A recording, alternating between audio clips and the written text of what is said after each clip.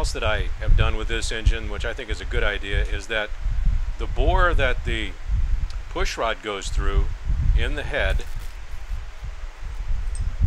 is originally about 3 eighths of an inch. Should be enough. However, I found that the push rods were rubbing on the heads and uh, that was transmitting some noise, engine noise, and also, you know, you don't want things rubbing that aren't supposed to be rubbing. So I bored all of those orifices out to about 7 sixteenths. So they're almost twice the size uh, they were before, and I got no rubbing of any push rods, and it doesn't do anything as far as weakening the head or anything like that. So I recommend that on the, particularly on this engine, the Rover 3.5, and on the Buick 215. I'm uh, going to take this lifter out of here.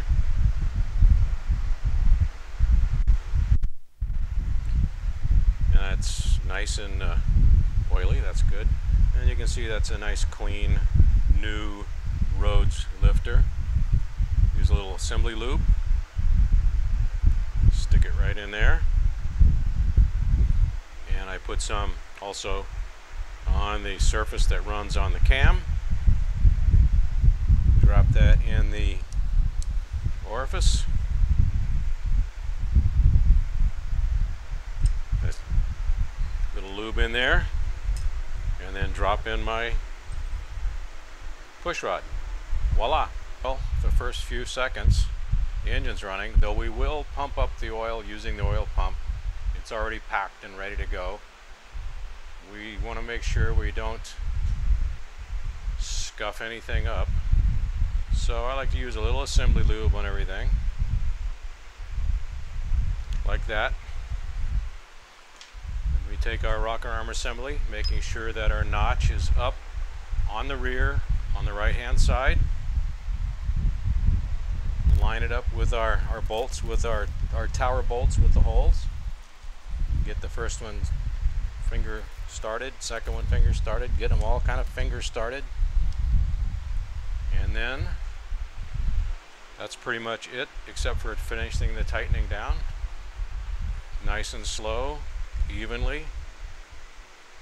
As we slowly tighten down these tower bolts, we want to make sure that we guide the push rods into the cups.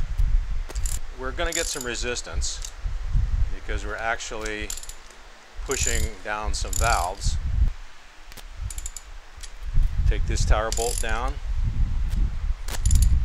nice and slow. Everything's looking good. And the last phase of this is we torque these guys down to about 25 pounds. I think that's it for today. So uh, I'm going to wash up, clean up, close up, and go have dinner and a movie with my lovely wife. Cheerio.